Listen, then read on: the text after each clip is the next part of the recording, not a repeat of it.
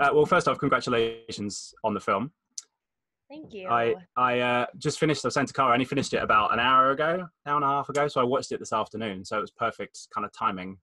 Oh wow! So it was uh, it was uh, yeah, I really really enjoyed it. So uh, congratulations on that. Um, I was just talking to Kara about the, the kind of uh, so many reasons why you want to get involved in a project like this and a story like this and a character like this. But for you, I mean, when you when you first got this and you and you read it, it must have been such a great experience to read it. But what was it about these characters and you, and Maggie and the whole kind of the, the whole piece, if you like, that kind of spoke to you and you you were wanting to get involved?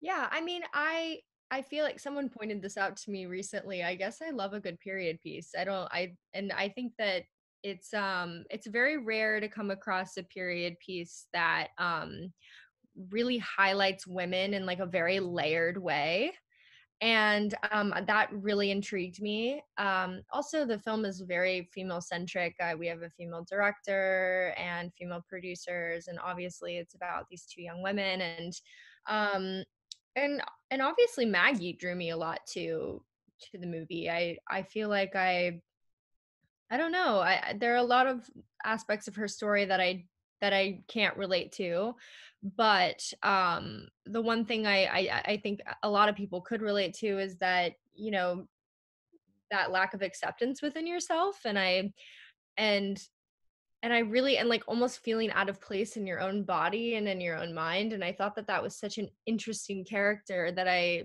have yet to explore so i was um that's really what drew me to the role and Carl, Carl was telling us about the the um, the black and white version, which seems to have done the, the festival rounds. But I saw the, the color version. How that that must have been a, a fantastic experience to see the film in, in black and white because obviously I've seen it in color, but she was saying at Sundance and a few of the other festivals it was in black and white. And I don't think anyone, apart from who maybe people who've seen it at the festivals, knew it existed in black and white. I mean, what what was that experience like seeing it in black and white? Because it must have given it such a such a different level of authenticity in some ways.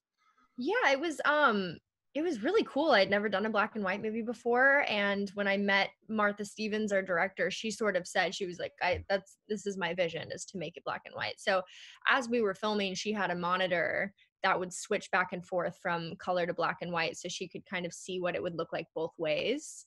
Um, so we got to see like little sneak peeks every now and then while we were on set um and it was it was so surreal i think that with a movie like this um having it in black and white this is such a character piece that I feel like it really does highlight everybody's characters and you're not as distracted by like the surrounding details and elements of like the world but the color is also so beautiful. We had an amazing set designer and um yeah it's actually it's weird to, to like to hear people's different experiences from watching it in color and in black and white because it's also available in black and white as well on iTunes or something like that. But yeah, most people are seeing it in color. Yeah, I I, I really want to see it in black and white now. I have this strange kind of uh, thing to kind of see the the movie in black and white because I feel like it's it's it almost, almost I was joking with Kara about Logan and Mad Max Fury Road about how these these black and white versions that kind of give the films kind of at such a different level and such a different distinction to what they are in color, which is which is quite strange. Yeah, it really is a whole different thing.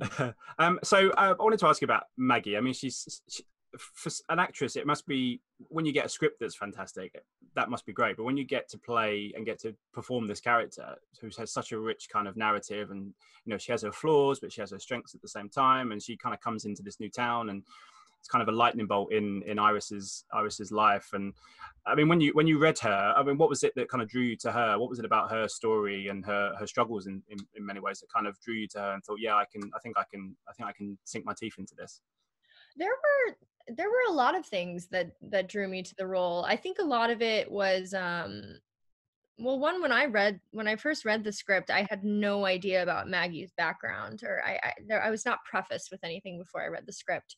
So I was just as taken aback by the events that unfold in the film as like a, an audience would have been when they were watching it and I was like, wow, this is such an interesting way to go about um, revealing a person's a character's identity and and a, and a person's secret because when Maggie comes into town everybody loves her and everyone's drawn to her and thinks she's really cool and wants her to be a part of the group and a cheerleader and all of that stuff. And I was thinking to myself, how often do we um and not we as in you and I but you know maybe more small town places that are a little bit more conservative like how often do we immediately judge a person by the the baggage that they're quote unquote baggage that they're bringing with them or the history that they're bringing with them and not giving them a chance to uh, create their own narrative? And i just thought it was interesting uh, my hope for people who watch this film is that you have a chance to fall in love with Maggie before you all these preconceived notions come in and kind of alter your view of her. And I I'm, I was hoping that maybe it would force people to question their own beliefs. Um, I, I that at least that's what I was hoping when when you watch this film. And I also think that um, it, it was it was crazy because when I this film takes place in the 1960s um, and it's it follows two young women who don't feel like they have a place in this world and one of them ends up running away from home and and there are pieces of the film where you almost think it's kind of silly that something like that would even happen. You know like a, a girl seeing two women together and running away and bawling to her parents and you're like this is crazy. Did this actually happen? Like i can't believe that we lived in a world like this. But you know there was someone very very close to me that right you know she's in her she's in her 20s now but when she was a teenager she ran away from home because she wasn't accepted for her sexuality and and um and that like really struck me that stuff like that really does happen and stories like that really do need to be told because i think without stories like that we can't move forward so yeah, absolutely. I mean, I was saying to Kara as well about the obviously there's so many uh, fantastic themes and important themes, and and the narrative is is so important even for for modern day, as you touched upon. Then, obviously in the '60s and now in, in modern day, we're dealing with those kind of things anyway, and it seems to have not gone away. But it must have been great, uh, uh, in another sense, to kind of step into the '60s and step out of kind of modern day and all of you as, as actors and, and filmmakers put yourself in the 60s and transport yourself in many ways because the, the, production design is so good and the, the characters seem so well fleshed out as you say in that in that particular world. It must have been great for you guys to kind of step out of you know mobile phones and the internet all that kind of stuff and, and really kind of put yourself into that world with those characters. It must it gave such a great authenticity to the film. I just wondered whether that how important that is for you as an actress that you can do that that you can kind of step out and, and you can be all right i'm in this world now let's tell the story in the best way we can. It definitely helps you immerse in the story like immerse yourself into the story and the character um and we also another thing that's really helpful is when you're filming on location. We were filming in enid oklahoma and i mean that place alone is like a time capsule you know? Everyone lives in this like this beautifully preserved bubble and so that was really cool getting to work there as well and you really just got to settle in and and sort of feel how these characters would have probably felt and and I especially for Kara and I I mean we'd never been to Oklahoma before or you know lived there for a few months and so it it also helped with our characters being like god I feel so out of place here and this feels weird and and new and strange and that was really helpful too and and it also helped that um Martha Stephens she's just a freaking library of information. She knows anything and everything about the 50s and 40s and 60s. And so that was really cool too.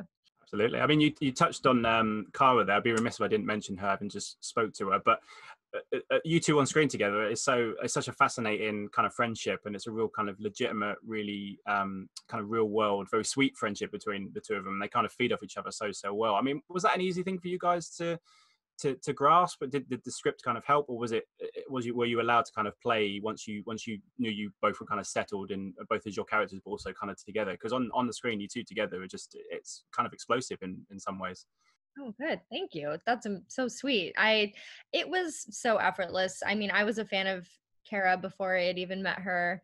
And and she was a big part of me wanting to do the movie because I was a big fan and I wanted to work with her. And we met uh, before I had the job. She had the job before me. And our director wanted us to she wanted to see us together. And so i went over to a little house in west hollywood and we all sat together and talked about the characters and and obviously martha liked what she saw and it was so effortless from the very beginning. I mean she's such a wonderful collaborator and so talented and and put so much time and thought into into her character and and it was it was cool because all of the women on the in, on the movie we all lived in in the same hotel and all on the same floor and we just spent every waking moment together because we had we had no friends. It was just I was just all of us. We would after work we would go to chili's and we would eat french fries and chicken and then we'd start the day all over again and it was so much fun. I, it was it, we really did become one very big family yeah it, it, does it does feel like that when you when you when you watch the film uh, i just wanted to touch on um, martha very very quickly and kind of the the film when you've kind of seen it completed i mean it's it's a script that that tells these characters lives and and, and flaws and all as i said before and, and really kind of in a realistic way but also it doesn't kind of put a bow tie on the film. It, it deals with them in such a real and kind of uh, raw way. There's a there's a degree of authenticity to it, and that you know, coming of coming of age tales don't always have you know quote unquote the happy ending that you might be expecting. It was it was that kind of refreshing for you when you when you read the script and saw the final film and what Martha was doing. That it, it didn't come like that. That there were flaws to the characters, but also the film is very much you know uh, realistic to to the characters and, and treats them in such a such a way, and that the story is is is realistic, even though it may not be what people are expecting.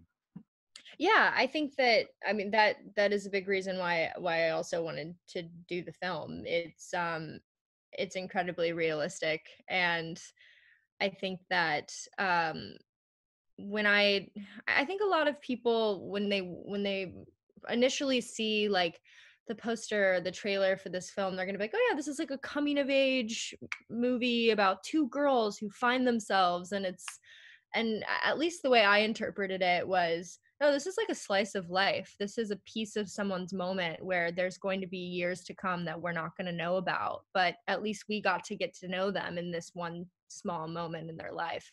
And um and I trusted Martha with that and I feel like she definitely provoked that feeling in the film for everybody. She from the moment I met her, she you could just tell she had it together. like she she had a vision, she knew what she wanted, she knew the movie she wanted to make and there's honestly nothing more attractive to an actor than a director that knows what they want.